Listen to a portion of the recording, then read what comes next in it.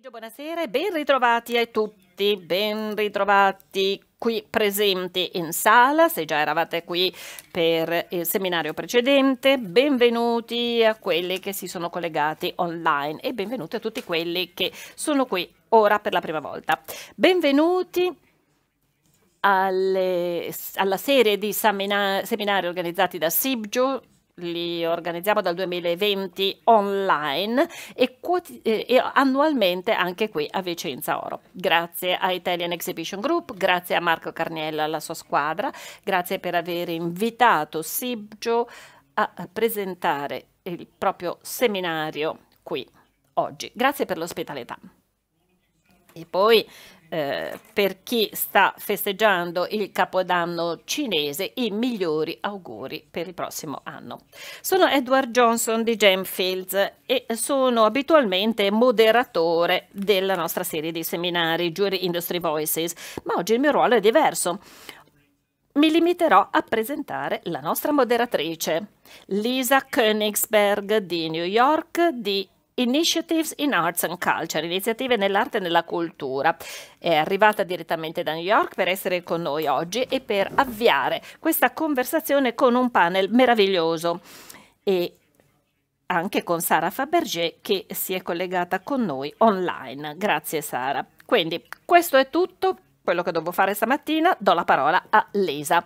Grazie di cuore per la tua collaborazione e per tutto l'incoraggiamento e il supporto che da sempre dai a SIPJO. E eh, continueremo senz'altro questa collaborazione. Grazie Edward per le tue cordiali parole. Grazie alla Fiera di Vicenza per l'ospitalità che è veramente molto apprezzata. A questo punto Diamo un'occhiata a questo panel eccezionale che è qui con noi oggi.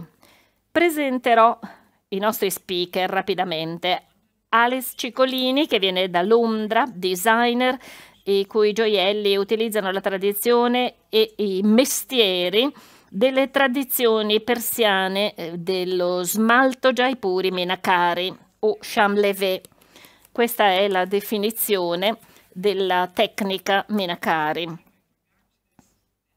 e su questo torneremo comunque, quindi una eh, competenza tradizionale che proviene dalla Persia e che è stata tramandata da generazione a generazione negli ultimi 200 anni. Poi abbiamo con noi Sara Fabergé, direttrice dell'Heritage Council e direttrice dei progetti speciali di Fabergé, Enzo Liverino, alla mia sinistra di Torre del Greco, proprietario di un'azienda a gestione familiare specializzata nel corallo che si è impegnato a conservare il retaggio storico della sua famiglia e della sua città nella lavorazione del corallo. L'ha fatto anche creando un museo. E infine ho il piacere di presentarvi Alice Vanni o Alice Vanni, Vanni ehm, che ricopre il ruolo di direttore e manager di sostenibilità e compliance presso Ital Preziosi.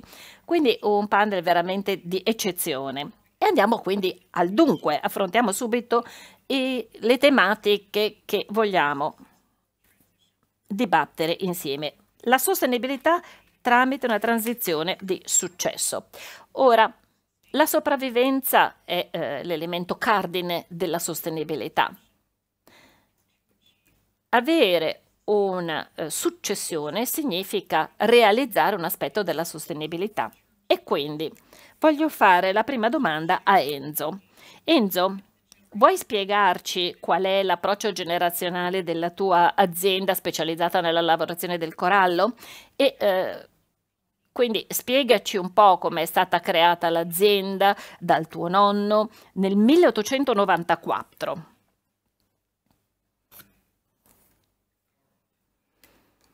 Il corallo. Tutti sanno che il corallo porta fortuna. E proprio per questo motivo noi abbiamo avuto la fortuna di creare questa azienda. Il mio trisnonno ha sempre goduto di una buona reputazione perché dal secolo scorso abbiamo sempre collaborato con Cartier, Bulgari e altri grandi nomi. Quindi la conoscenza passò dal bisnonno al nonno al papà. Io purtroppo non ho mai conosciuto mio nonno, però ho imparato moltissimo da mio padre. Mio padre mi ha insegnato tutto, tutto quello che io so del corallo, delle tecniche di lavorazione. Quindi tutta questa conoscenza mi è stata tramandata e questo mi ha dato la possibilità anche di viaggiare in tutto il mondo. E questa mia grande passione l'ho potuta tramandare ai miei due figli che lavorano con me in azienda e ho quindi avuto l'opportunità di diffondere ulteriormente la conoscenza del corallo. Bene, più avanti ritorneremo su questa eh, grande eredità. Sara, dopo circa cento anni, che hanno incluso anche la rivoluzione russa, se tu eh, dovessi parlare dell'identità della tua azienda, eh, pensando ai diversi aspetti che avete toccato, quindi diciamo che i componenti della famiglia Fabergé eh, hanno dovuto iniettare sempre nuova linfa nell'azienda, quindi vorrei sapere da te eh, qual è il tuo ruolo oggi.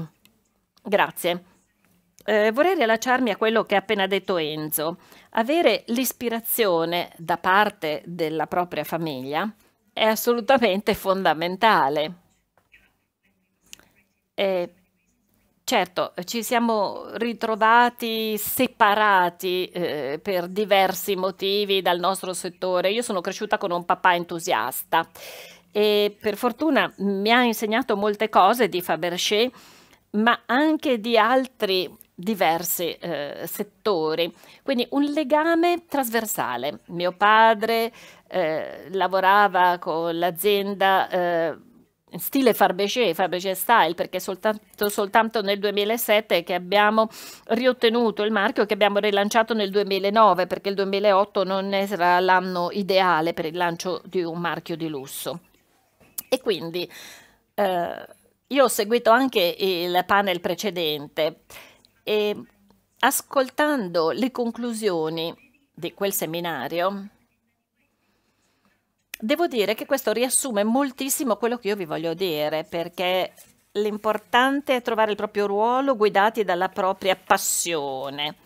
E certo è sempre il proprietario del marchio che deve rilanciare l'azienda, però lo deve fare lavorando con esperti, lavorando con persone che non solo sanno quello che stanno facendo, ma che hanno una passione per Fabergé, perché come molte altre aziende di gioielleria, eh, la passione è fondamentale, quella che determina la personalità del marchio, chi siamo, che cosa facciamo. Quindi bisogna lavorare con una squadra che condivida questa passione e capire qual è il nostro ruolo, cioè che cosa noi possiamo offrire a quel marchio. Sara, eh, questa eh, una risposta che guarda veramente al futuro. Ritorneremo a parlare del tuo rapporto con il DNA Fabergé, se così lo vogliamo chiamare, e come tutto questo sia stato tramandato. Certo, passione, impegno, eh, retaggio, eh, approfondimento di tutti questi valori. Ma e devo dire che mi sento anche molto fortunata perché ho qui con me tre donne, eh, donne eccezionali e questo non è fare pinkwashing, eh, anche perché nella selezione dei panelist non abbiamo preso in considerazione l'aspetto quote rosa. Comunque passiamo ad Alice o Alice Vanni, che eh, è effettivamente l'altra rappresentante dell'ultima generazione. Um, pensando alla mamma e pensando a Ital Preziosi, che cosa ci puoi dire dell'uguaglianza di genere? Mia madre, Ivana Ciabatti, che molti qui probabilmente conoscono, fondò nell'84 Ital Preziosi. E il campo in cui eh, ha lavorato, che riguarda prevalentemente l'upstream della catena del valore, eh, è sempre stato un campo a predominanza maschile, quindi all'inizio del suo viaggio ha incontrato innumerevoli, difficoltà, perché dobbiamo anche prendere in considerazione la situazione di allora. Ma mi ha sempre detto, e lo ripete in tutte le associazioni, è che sono le donne che spesso si sottovalutano e che si pongono delle barriere e degli ostacoli. Quindi eliminando questo primo ostacolo, con determinazione si può superare tutto. Ed è questo quello che lei ha fatto. Quindi non sottovalutiamoci. Eh, mia madre infatti è diventata una delle donne tenute in maggior considerazione nel mercato del refining e upstream e quindi eh, effettivamente ha ricevuto anche dei premi per il suo lavoro nella sostenibilità. Allora, se avete un sogno e siete determinate, potete arrivare dove volete. Detto questo, mia madre ha eh, utilizzato tutto quello che era necessario per realizzare uguaglianza di genere in azienda ma anche all'esterno dell'azienda, nella supply chain e per quanto riguarda l'impegno in comunità. Nell'azienda, ve lo posso dire in termini concreti, siamo 42 donne, e abbiamo un'ottima rappresentanza femminile nel management e nella leadership, dato che eh, mia madre è attualmente la presidente della nostra società.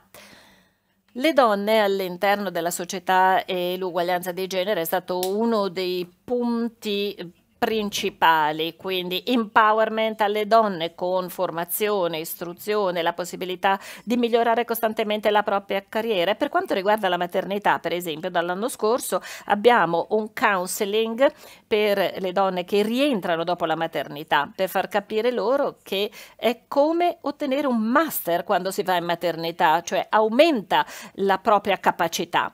Ecco come funziona quindi la nostra azienda. Per quanto riguarda la comunità, eh, la mamma ha sempre sostenuto le iniziative attraverso i tal preziosi che contrastano la violenza contro le donne, assegnando anche dei premi alle donne che hanno il coraggio di ribellarsi.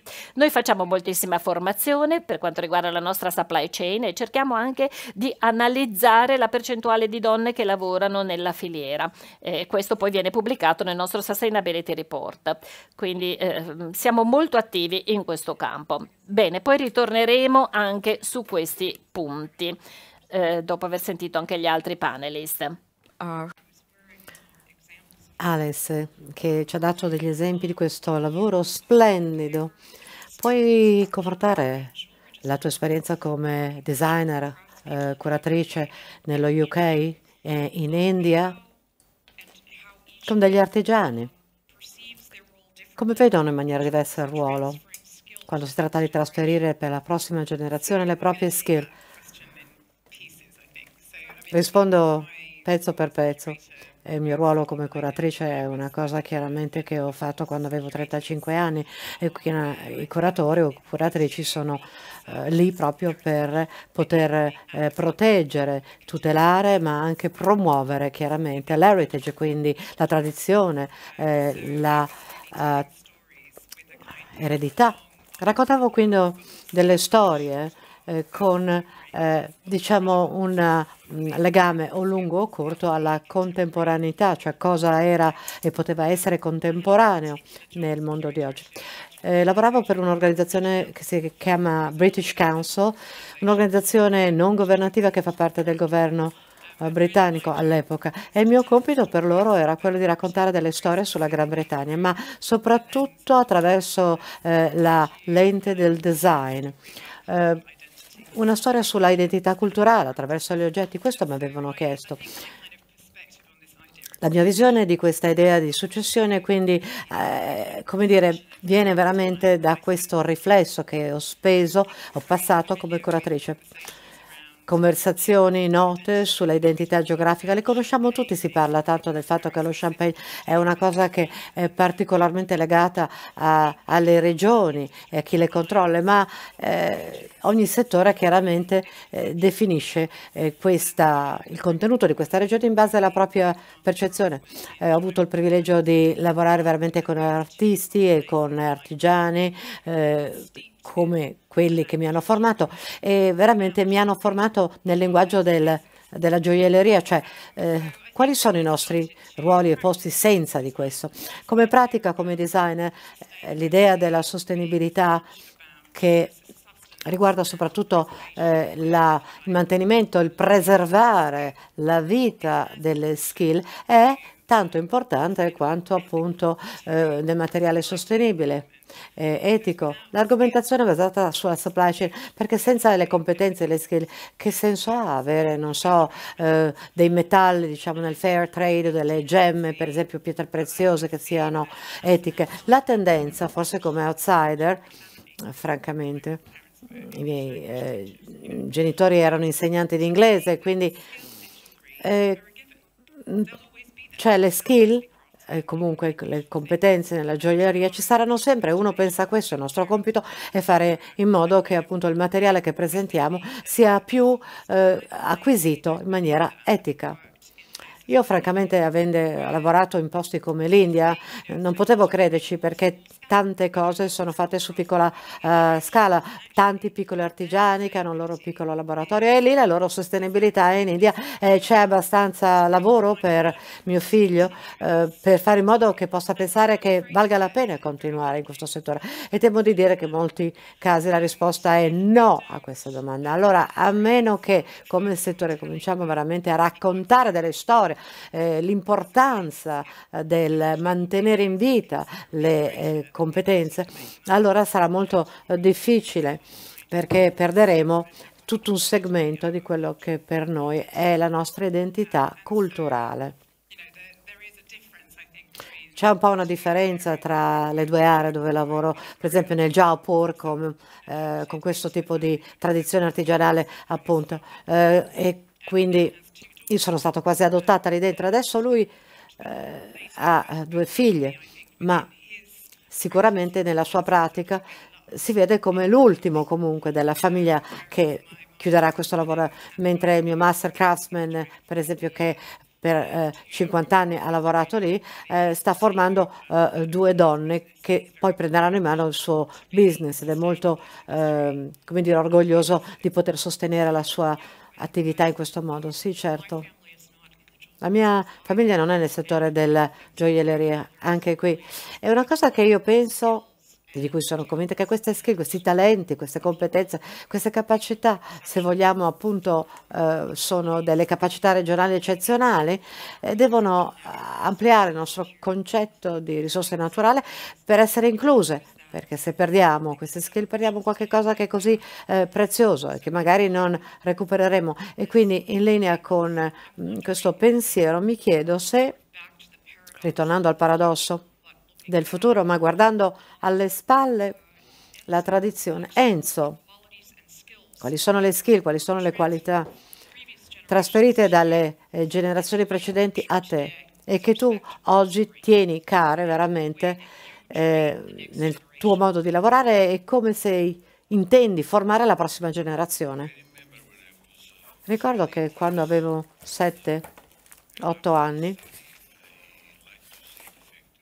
Dopo lo studio mi piaceva vedere sempre la fabbrica, vedere nel laboratorio i lavoratori, eh, gli artigiani come tagliavano, come eh, perforavano il corallo. Ho avuto fortuna, perché io ero figlio del proprietario, quindi mi hanno insegnato, non erano uh, uh, gelosi di me.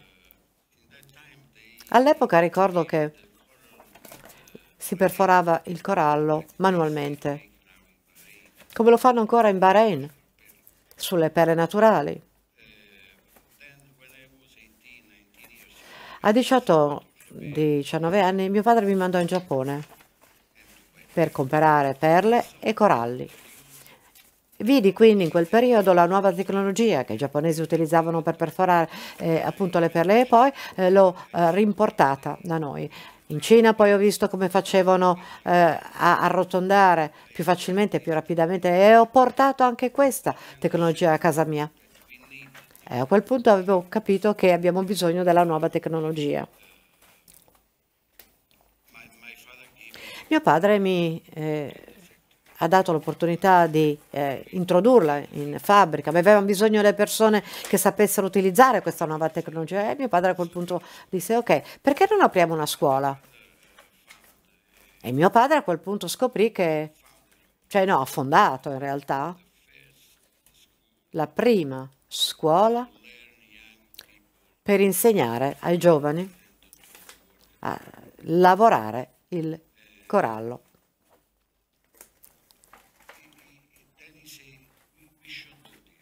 E io vorrei incentivare questa cosa, dovremmo continuare a farlo perché soprattutto dal business dei coralli noi eh, abbiamo un'ottima reputazione, rispetto.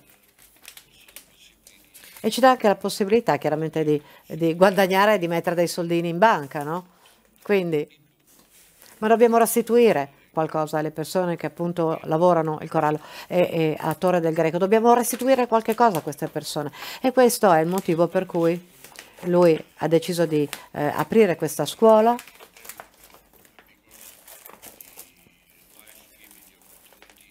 La vita mi ha dato l'opportunità di incontrare le persone giuste come Gaetano. Nel business dei coralli. Ho potuto quindi farlo crescere e vedere anche il suo futuro. Ritorneremo tra un istante nel corso della conversazione al paradosso, la fusione proprio, eh, il punto di incontro, il crocevia tra passato e futuro nel tuo business. Attore del Greco, Sara. La domanda che ti faccio è, ma tu come fai a conservare, per esempio, eh, l'artigianalità eh, di oggi se volessi mantenere, per esempio, trasmettere, non so, eh, l'arte di Fabergé, come ti concilia questo o concili questo con la storia? Con eventi storici ed altri. Grazie.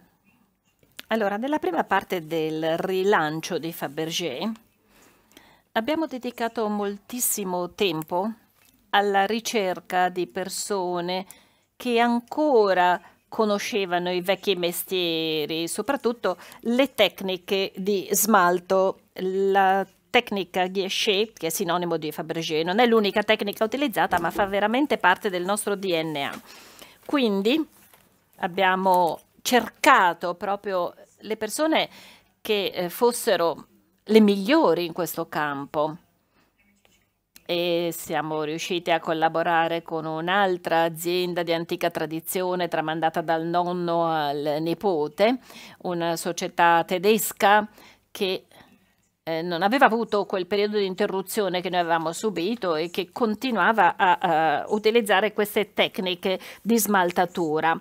Abbiamo lavorato anche con altri esperti del settore e questo per noi è stato molto importante. Um, non voglio sembrare pomposa, però io credo che il nome Fabergé, indipendentemente da tutto quello che è successo, indipendentemente da me eh, o quello che facciamo oggi, è un nome che ha una sua vita. Abbiamo fatto anche un documentario e le persone spesso eh, sono liete di lavorare con Fabergé perché ammirano il nostro passato e vogliono questa trasposizione del passato nel futuro, mantenendo gli standard di creatività e di competenza tecnica.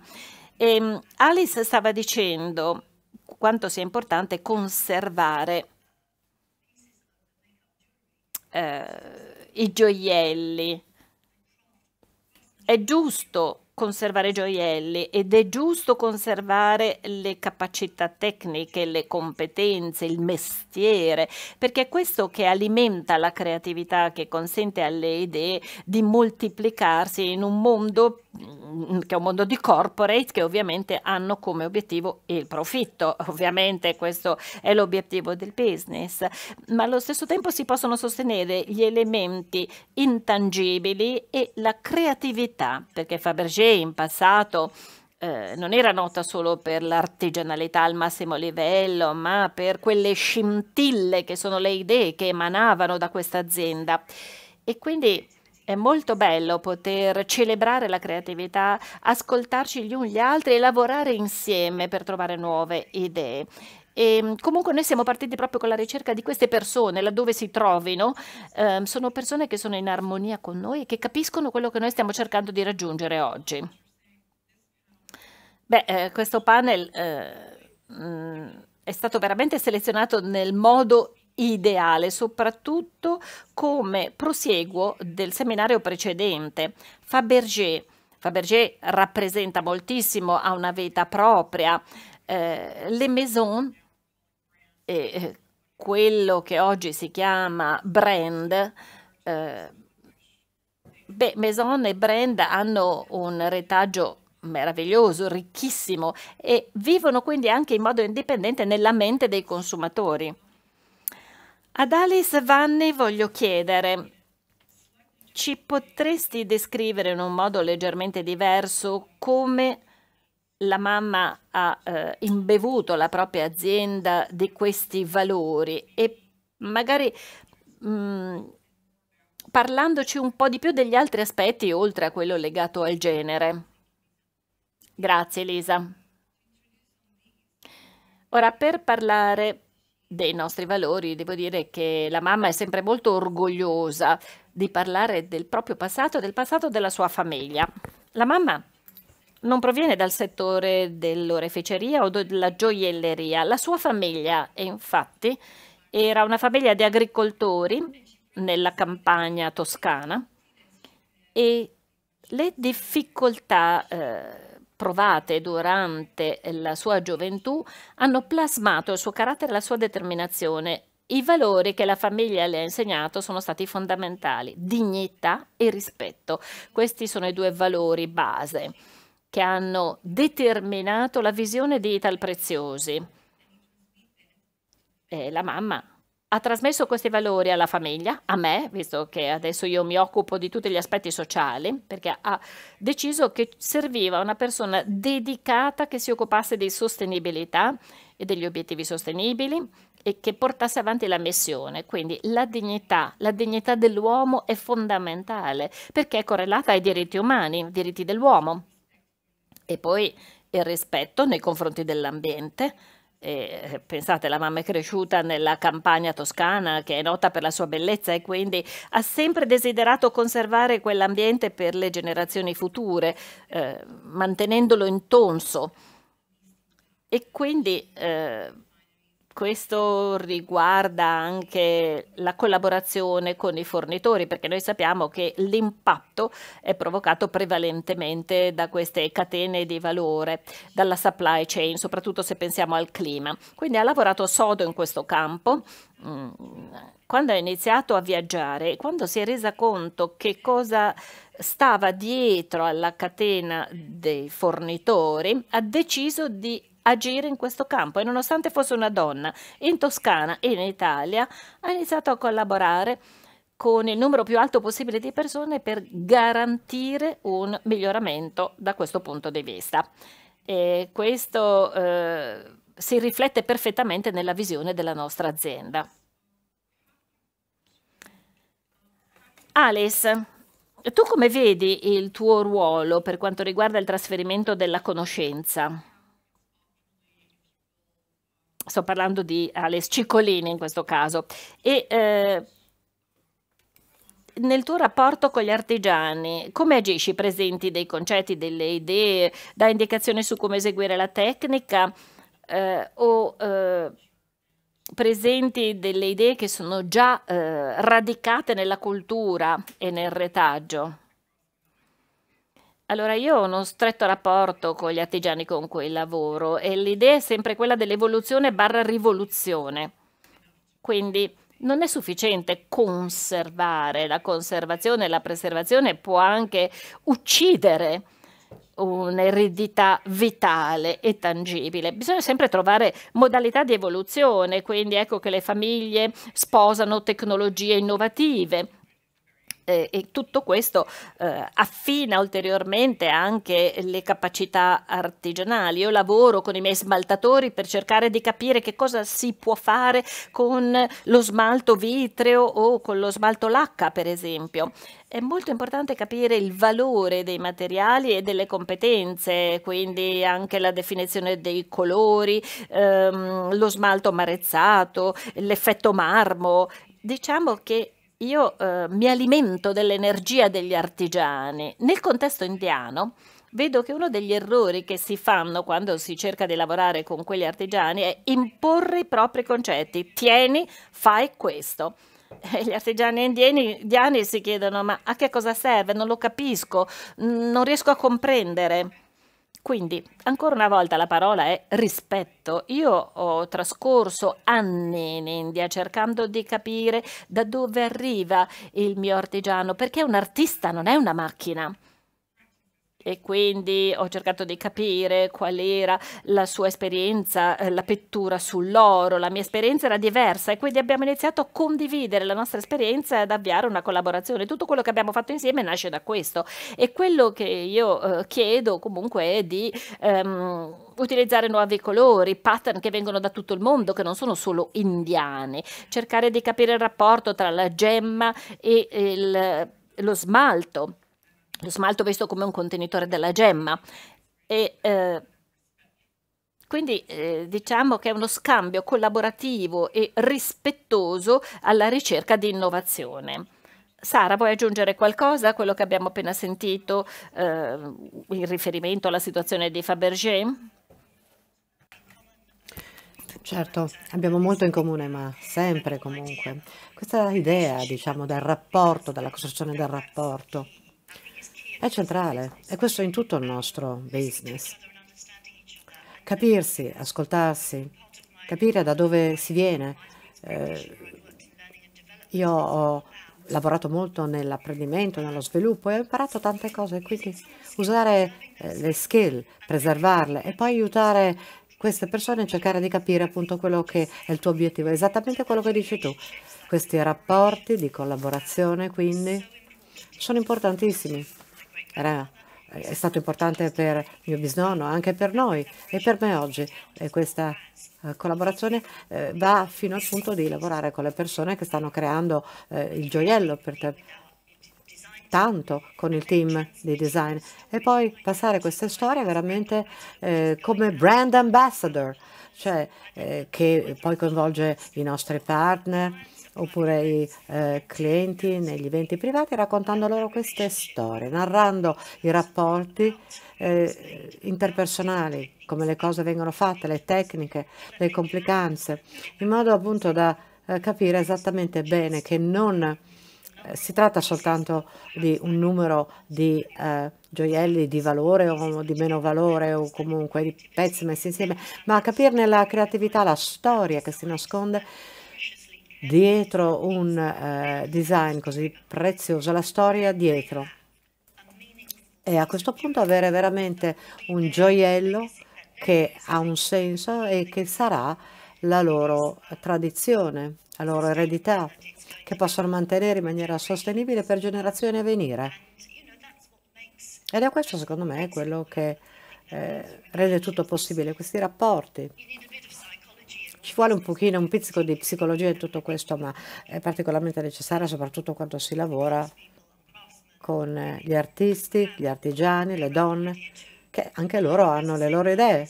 Lo stesso, mi spiace, ritorno un attimo alla domanda di prima, però, eh, Elisa, però eh, anche nel nostro business la cosa che ho cercato di proteggere è eh, non volevo le persone che entrassero e uscissero dicendo fantastico, possiamo fare veramente delle cose grandi, mettiamo, metto sopra anche eh, il mio progetto. No, no, non vogliamo, dobbiamo avere il coraggio di dire noi non vogliamo avere la tua idea che magari viene da un'altra azienda sopra Fabergé. Fabergé deve essere Fabergé oggi, così com'è, eh, non eh, così bloccata da qualche parte o polverosa in, in un museo.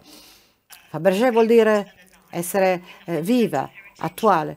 eh, con questo sottile equilibrio tra il passato e il futuro per fare in modo di muoversi in maniera sostenibile e eh, diciamo che mantenga alto il proprio nome.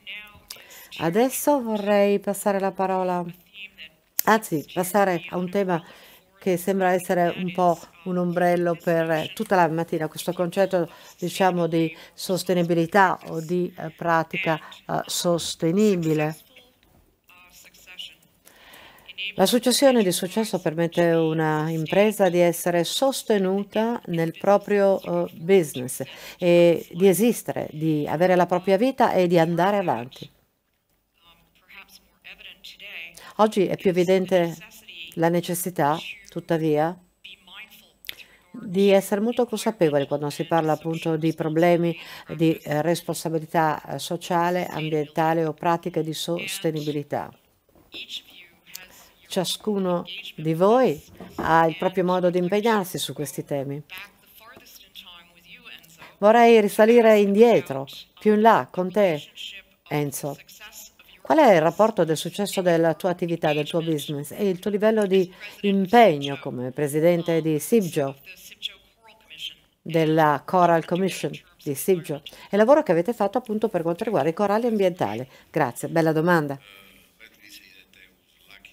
Ho avuto la fortuna, devo dire, in premessa che ho avuto due figli che lavorano nella mia azienda e uno è qui presente, Andrea.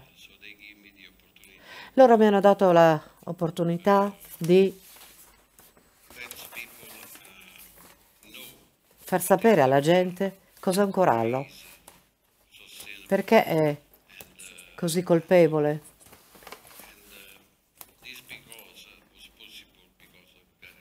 e sostenibile. Gaetano Cavalieri mi sembra non so quanti anni fa ha detto che eh, ha costituito la commissione proprio dei coralli e nell'arco di pochi anni, due anni, abbiamo fatto Blue Book con eh, regole, nomenclatura, classificazione, trattamenti, spiegazioni e la classificazione dei delle otto specie di coralli preziosi. Una mappa, cioè voglio dire, tantissime informazioni. Veramente devo ammettere, secondo me sono stato molto fortunato nella mia vita perché anzitutto ho avuto l'opportunità di incontrare eh, Gaetano e poi eh, Ken Scarrett che mi ha aiutato tantissimo nella Coral Commission, nella Commissione dei Coralli, mi ha aiutato molto eh, a, a, a creare il DNA dei coralli attraverso cosa? Attraverso l'Università di Napoli per poter veramente offrire al 100% le possibilità ai laboratori delle gemme di identificare l'origine di queste specie. Grazie a Ken poi abbiamo fatto anche il grading dei eh, colori dei eh, coralli, tutta una serie di altre informazioni comunque che sono emesse. Stiamo lavorando sulla guida dei coralli.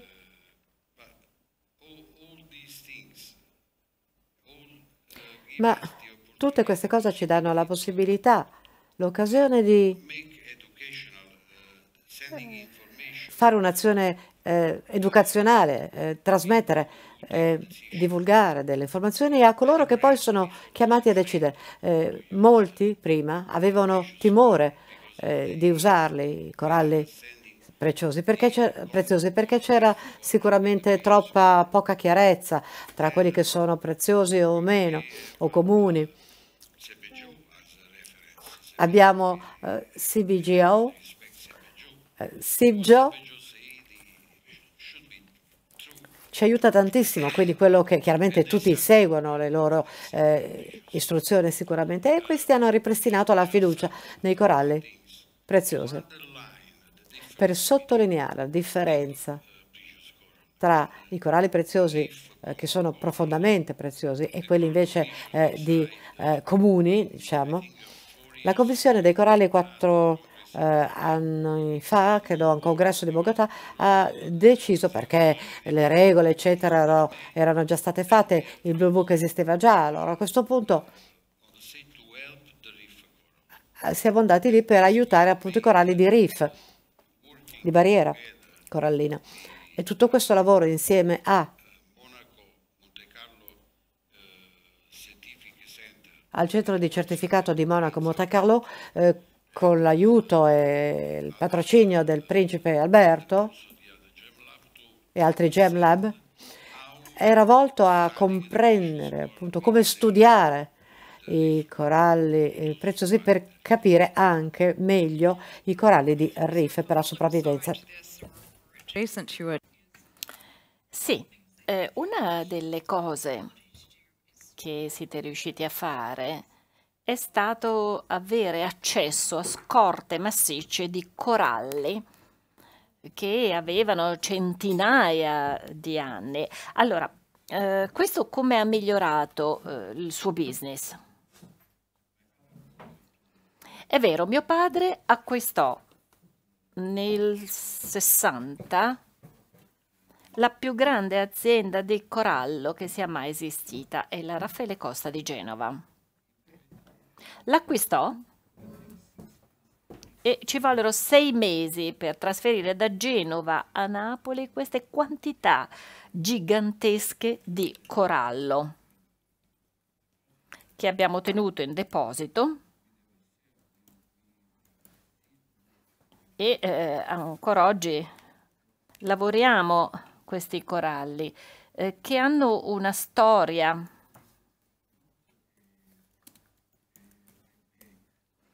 Perché mh, mm, non stiamo parlando di una banca di corallo, ma di un deposito di coralli eh, con strati di corallo ad un'altezza di 30 metri.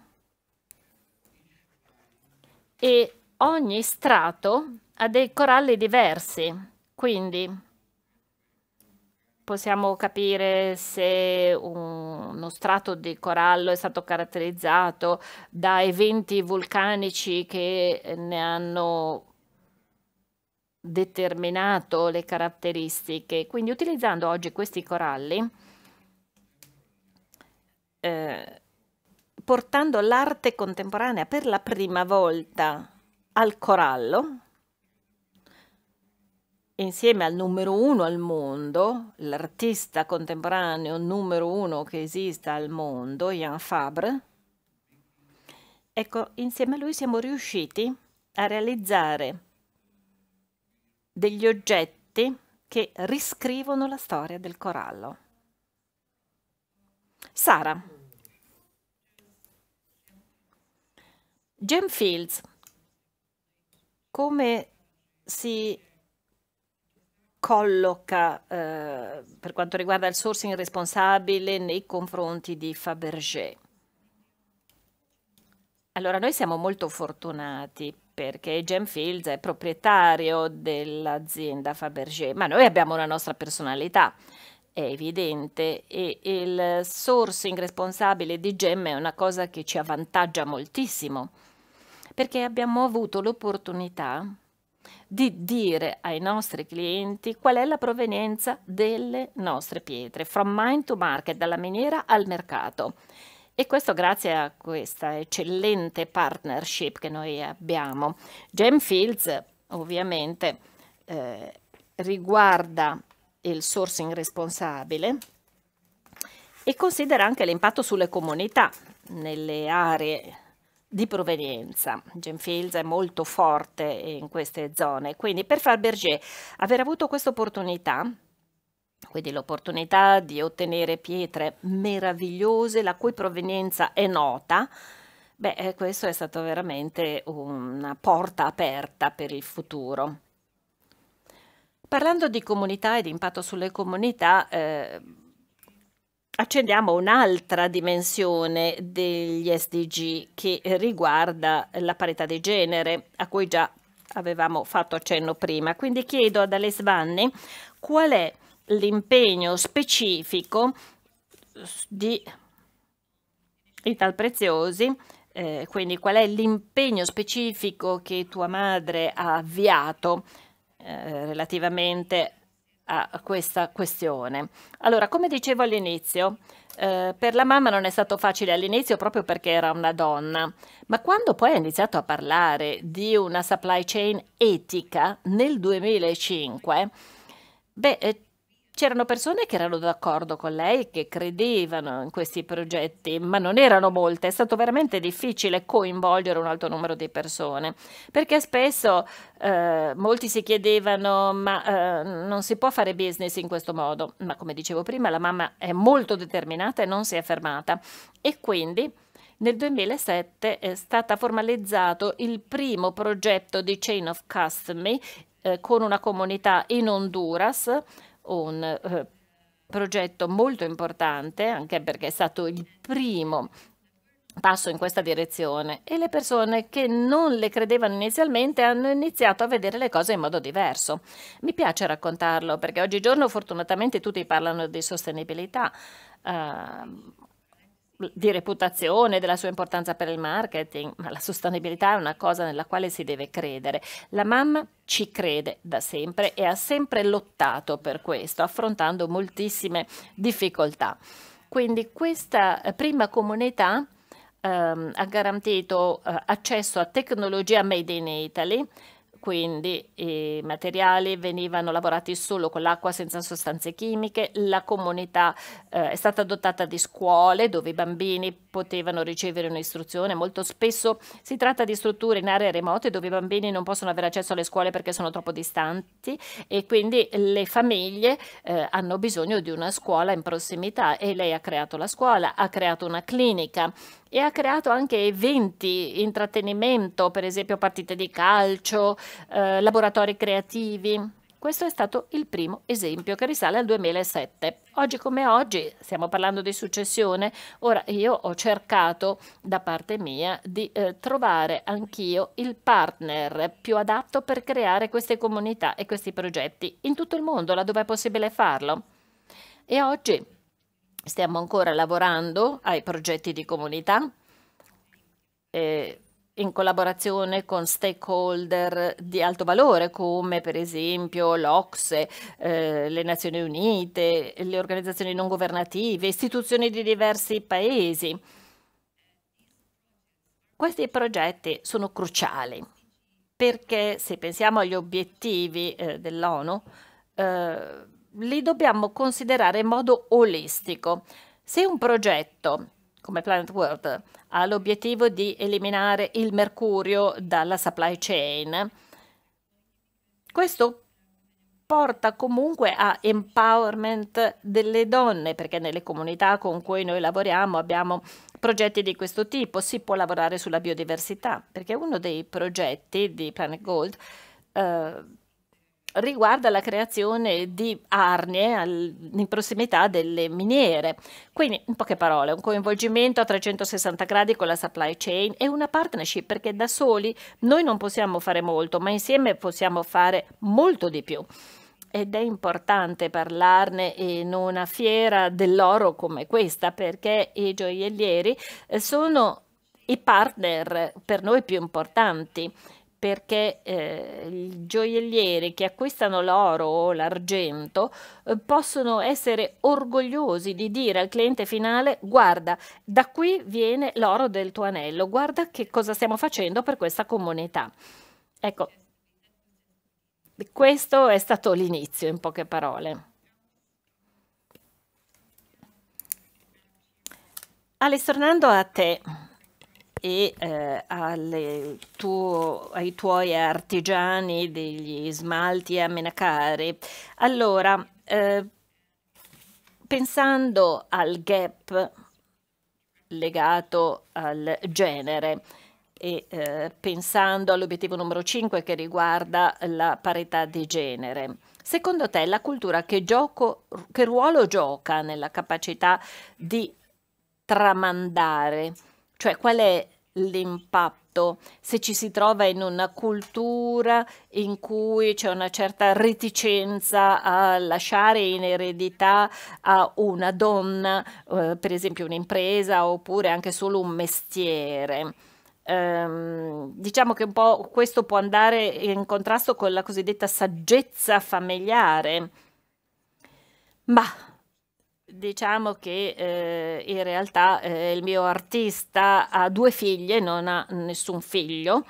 E, ehm, diciamo che eh, non è che lui insegni alle figlie perché alla fin fine si sposeranno e eh, quindi si occuperanno eh, di portare sia la competenza nelle mansioni familiari che la competenza nell'ambito aziendale nella famiglia con la quale si uniranno. Quindi la tecnica del cloisonné, eh, che è un po' più semplice, eh, non viene insegnata loro, non gli insegna come fare chapelet, che è una tecnica eh, un po' più complessa. E allora come riuscirà a trovare il modo di garantire una successione se non insegna alle figlie? E tra l'altro il suo mestiere è molto interessante perché ha scatole che contengono, eh, per esempio, anche disegni fatti dal trisnonno, di cui va estremamente orgoglioso. Diciamo che c'è una pletora di informazioni, una ricchezza di conoscenza che non è ancora andata perduta da generazione a generazione, anche se suo padre è morto piuttosto giovane. Comunque lui può imparare da quello che vede, dal retaggio concreto che ha nelle sue mani. Quindi ehm, è molto importante riuscire a capire come possono essere tramandate queste competenze. Viene, eh, tutto avviene in questo momento in modo disorganizzato. Mario Buccellati ci ha parlato dell'accademia. Ehm, diciamo che le famiglie eh, rappresentano una grossa fetta del nostro settore. Allora, che cosa possiamo fare? Come possiamo indicare la via per poter tramandare la propria cultura, la propria tradizione? Questa è una domanda ancora un po' aperta. Secondo Ed Johnson, il mio predecessore, stiamo arrivando alla fine del nostro tempo. Quindi, l'ultima domanda che ho per voi, magari con una versione un po' diversa, con una storiella, se potete rispondere brevemente, se ci sono poi delle domande da parte del pubblico, eh, ci rivolgeremo al nostro pubblico.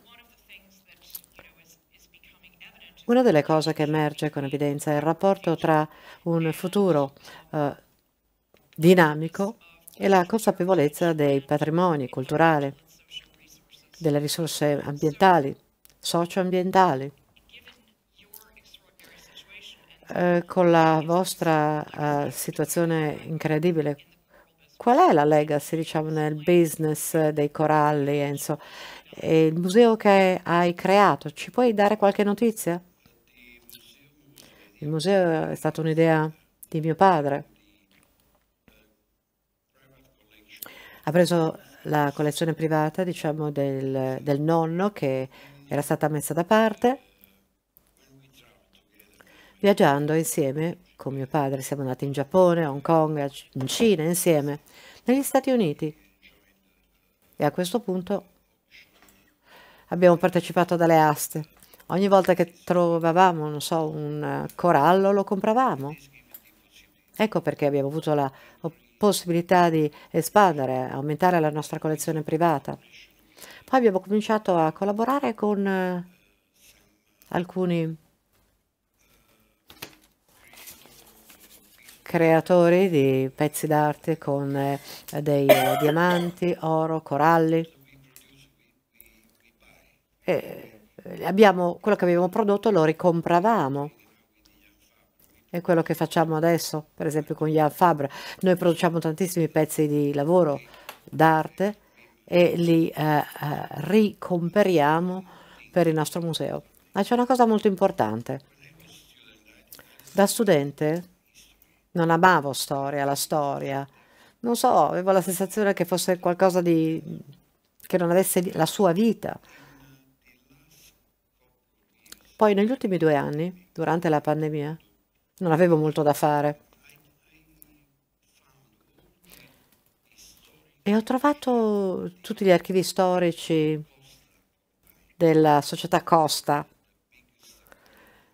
la più grossa Coral Company eh, basata a Genova. E con mio figlio abbiamo trovato delle cose incredibili, fatture, dello scorso secolo, lettere, corrispondenza, documenti, eh, una cosa incredibile, veramente un mondo strepitoso. Eravamo a contatto appunto con la fondazione di Napoli, il Pio Monte della Misericordia, dove abbiamo donato qualche corallo, pochi. Il laboratorio digitale, beh, con loro abbiamo uh, deciso che noi avremmo donato loro tutti questi documenti. Loro chiaramente avrebbero dovuto rimettere un po' a posto perché erano molto antichi, cioè all'inizio dello scorso secolo, e poi eh, l'avrebbero digitalizzati e pubblicati online, in modo da permettere alle persone di fare veramente una ricerca storica. Mm. La storia potesse essere cambiata. So, uh. Grazie a questo. E il museo, quindi da un lato, è qualcosa di vivo, C'è una sezione di quello che è stato fatto in Sicilia qualche secolo fa, quello che è stato realizzato a Napoli, per esempio. Poi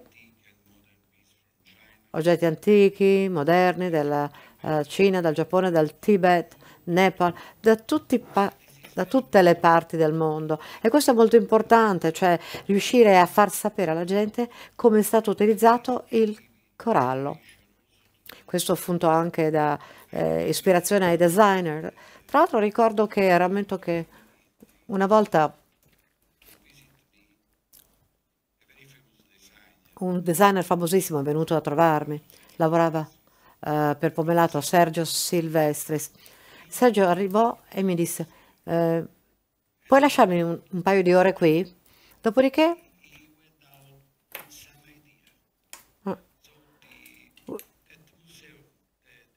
ne uscì con alcune idee.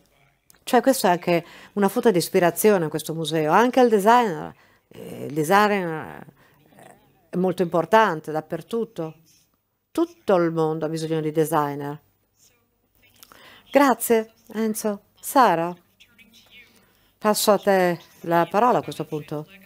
Come patrimonio, tradizione di Fabergé, cosa vorresti vedere e come questo si riallaccia alla storia che Fabergé ha da raccontare? Noi siamo semplicemente dei curatori di un grande nome, ce ne prendiamo cura e ce ne prendiamo cura bene, nel modo migliore e quindi cerchiamo di portare avanti eh, quelle competenze che potrebbero altrimenti andare perdute, dimenticate, non più reiterate. Quindi si tratta delle tecniche degli smalti, ehm, sostenendole con lo storytelling e scrivendo un nuovo capitolo. Ecco quello che stiamo facendo, stiamo scrivendo un nuovo capitolo della storia di Fabergé. E l'importante è che le persone sappiano che Fabergé non, non è morto, ma che ora continua ad evolversi che questi mestieri vengono ulteriormente affinati, che continua la creatività con l'obiettivo di ispirare altri designer affinché eh, seguano queste orme. E quindi noi siamo veramente proprio dei curatori, ci prendiamo cura di questa eredità per poterla lasciare alla prossima generazione. E eh, tra l'altro mio eh, figlio eh, rappresenta la prossima generazione. Speriamo che continui ad essere ispirato da Fabergé e che non sia eh, una cosa polverosa o museale. Bene, la domanda a Alice Ciccolini. Chi è responsabile, eh, secondo te, del, della successione e del tramandare di queste competenze? Chi quindi può garantire il passaggio di questa eredità? Menacare in hindi significa segreto. È una cosa meravigliosa, lo smalto quindi è una conversazione tra la persona e il gioiello ed è una conversazione segreta, quindi questa è un'idea che si trova in tutto il mio lavoro, che lo permea completamente. E, però l'importante è che eh, gli artigiani eh, non siano più un segreto. Io ne parlo sempre, sono fondamentali, sono presenti nel mio profilo pubblico e nel mio lavoro come designer. Quindi io parlo sempre dei miei artigiani, quelli britannici e quelli indiani. Ma eh, chiaramente io non posso posso solo contribuire eh, a garantire la sopravvivenza di questa piccola comunità. Non so se posso dare una risposta, ma eh, da ex diplomatica posso dire che l'importante è sempre aggregare le persone per essere certi che la narrativa della pratica non vada perduta, ma si contemporaneizzi. Eh, quindi noi dobbiamo parlare del gioiello ricordando a tutte le persone in tutto il mondo che le competenze tecniche e artigianali sono una parte fondamentale per la quale tra l'altro loro pagano un prezzo perché anni e anni fa tutti pensavano ma tu sei matta, nessuno pagherà per le cose che tu stai facendo, invece le persone eh, lo fanno anche se il mercato è estremamente confuso per quanto riguarda la percezione del valore, quindi dobbiamo ricordare alle persone che quello che loro comprano sono delle competenze generazionali che vengono trasferite da una persona all'altra e che tutto questo richiede tempo e esige rispetto. Quindi un'aggregazione tra le persone, eh, questo appunto eh, ricordando alle persone che eh, il prezzo che pagano riguarda anche tutti questi anni che sono stati investiti per eh, la creazione di una tradizione. I valori sociali. Alice, vorrei concludere con te eh, con una domanda specifica. Il progetto Rondine Cittadella della Pace, il progetto di peace building, eh, come lo vedi nel contesto del retaggio di Ital Preziosi? Grazie per la domanda. Rondine, Cittadella della Pace, per me, per la mamma, per Ital Preziosi e per molti, molti anni, è stato un progetto cruciale. Stiamo ancora combattendo per far sì che il progetto si allarghi, si estenda. Quando noi facciamo business non è solo una questione di supply chain, di input specifici. In realtà quello che è importante è la visione olistica della sostenibilità e creare la pace è uno degli SDG, il peace building. E noi stiamo supportando Rondine Cittadella della Pace che è un progetto di peace building ad Arezzo e che è stato anche candidato per il premio Nobel della pace nel 2015. Di che cosa si tratta? Um, si tratta delle nuove generazioni che provengono da paesi che sono zone di conflitto. Noi cerchiamo di far vivere insieme questi giovani per far capire loro che il concetto nemico è solo una percezione. Questo progetto è riconosciuto dalle Nazioni Unite. Um, Ivan, la mamma, è la presidente degli imprenditori per la pace, perché sì, ci possono essere anche degli imprenditori che lavorano per la pace e che danno la possibilità ai giovani di ritornare poi nei loro paesi di origine per diffondere eh, il concetto dell'importanza del dialogo e del peace building. Quindi grazie di cuore per avermi fatto questa domanda e grazie per aver citato Rondine eh, a conclusione di questo seminario. Nel periodo che stiamo vivendo, un periodo in cui c'è un'urgenza di pace, non possiamo dimenticare di parlare di pace e dobbiamo sostenere le iniziative che diffondono la pace. Quindi per tutti i presenti che sono interessati a sapere di più di questo progetto e uh, interessati a supportare la nostra azione di pace, sono a vostra disposizione per darvi più informazioni. Ital Preziosi lavora moltissimo su questo piano, dà un supporto finanziario e sta cercando anche di creare dei programmi di internship, delle borse di studio, perché stiamo parlando di persone che vengono dai paesi che hanno maggiori difficoltà in questo momento e eh, Spesso sappiamo che anche le nostre materie prime vengono da zone eh, che non sono libere da conflitti. Allora noi ci dobbiamo impegnare olisticamente su tutti i fronti, in tutti i campi, eh, per quanto riguarda i diritti dell'uomo, ma anche per quanto riguarda la pace. Grazie, grazie mille. Allora, abbiamo cercato di analizzare quattro problematiche fondamentali. Una riguarda la successione eh, e, e, il suo legame con la sostenibilità, quindi eh, come riuscire ad attuare una transizione e una successione di successo. Ovviamente esiste un rapporto tra successione e successo, riuscire a eh, realizzare, aver successo nella realizzazione. Poi abbiamo analizzato la trasmissione dei valori e il rapporto tra eh, la successione che guarda al futuro e il retaggio, l'eredità in cui si affondano le radici. Il terzo argomento che abbiamo trattato riguarda il rapporto tra l'idea di un'organizzazione sostenibile e i principi delle pratiche responsabili relativamente alla società e all'ambiente, con eh, aspetti anche questi della sostenibilità. E il quarto punto riguarda il rapporto tra il futuro e l'eredità culturale e la nostra percezione individuale di eredità. Eh, sia per l'entità che rappresentiamo, sia per eh, il nostro contesto personale. Abbiamo due minuti di tempo e eh, prima di vedere se ci sono domande da parte del pubblico, voglio cogliere l'occasione per ringraziare Sib Joe per averci dato questa bellissima opportunità. Eh, per me è la prima volta, un'opportunità incredibile, di far parte di questa comunità così vivace e spero veramente di continuare a contribuire eh, continuare ad apprendere e a partecipare in modo efficace ed effettivo in futuro. Quindi grazie di cuore Ed, Steve e eh, se ci sono domande, prego, ponetele.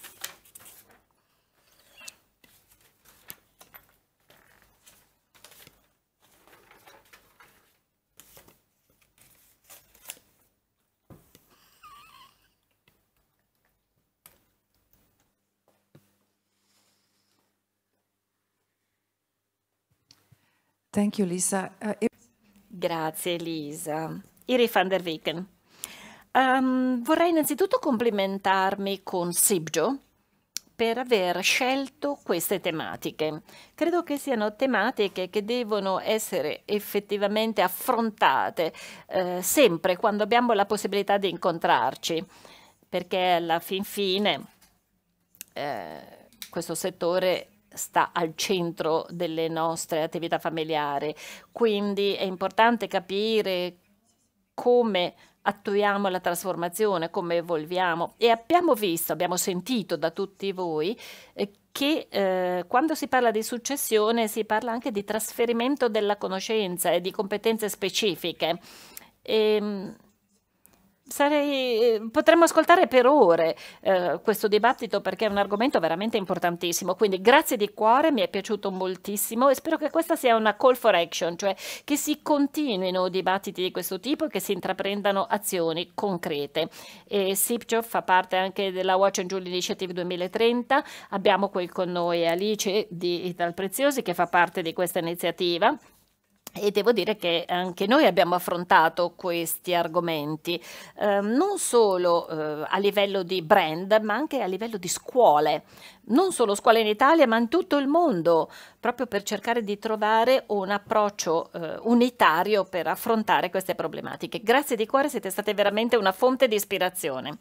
Grazie per queste parole così cortesi. Um, io effettivamente mi sono sempre interessata a queste tematiche. Eh, io ho raccolto la sfida e, e immagino che anche Save Joe continuerà su questa strada. Grazie, grazie di cuore per i tuoi commenti. Ce ne sono altri o altre domande? Bene, grazie di cuore per essere stati con noi questa mattina. Eh, ora è il mezzogiorno in Italia, non so che ore siano dove voi vi trovate, comunque grazie di cuore per aver trascorso con noi questa mattinata e se ci state seguendo online vi auguro un ottimo resto della giornata e mm, grazie per aver per averci ascoltato e spero che tutto sia stato di vostro gradimento.